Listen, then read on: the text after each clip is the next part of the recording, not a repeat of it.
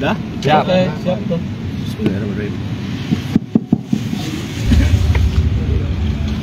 Assalamualaikum warahmatullahi wabarakatuh. Salam.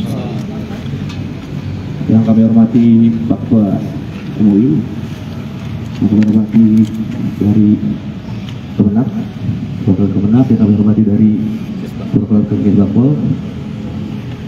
Pagi ini atas izin Bapak Kapolres Garut, kami dari Satreskrim Polres Garut akan merilis tindak pidana kekerasan perbuatan cabul yang dilakukan oleh seseorang sebagai oknum guru homeschooling terhadap beberapa anak yang dia ajar.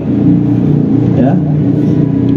Dengan awal mula kejadian salah satu korban anak ini mengadu kepada orang tuanya akibat dari perbuatan tersangka ini kemudian anak orang tua tersebut bertanya lagi kepada orang tua lainnya yang sama-sama anaknya diajarkan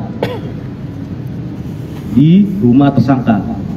Kemudian setelah diklarifikasi baru kemudian orang tua tersebut melaporkan kepada kami atas perbuatan cabul yang dilakukan oleh oknum guru homeschooling tersebut.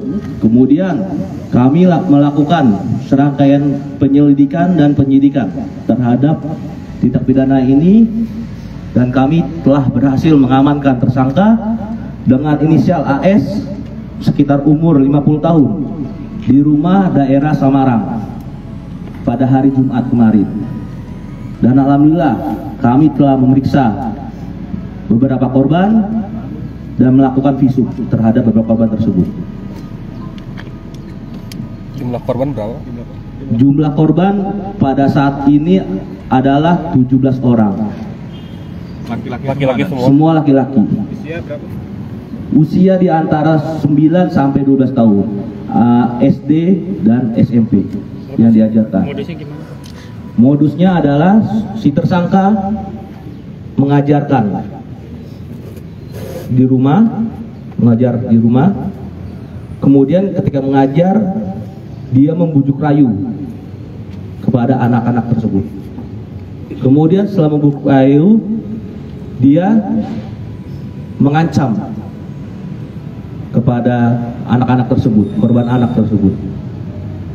Kemudian apabila dia melaporkan akan dibisi dengan bahasa ulah bebeja kasasahan bisi diarah. Atau jangan bilang kepada siapa siapa bis, bisi diincar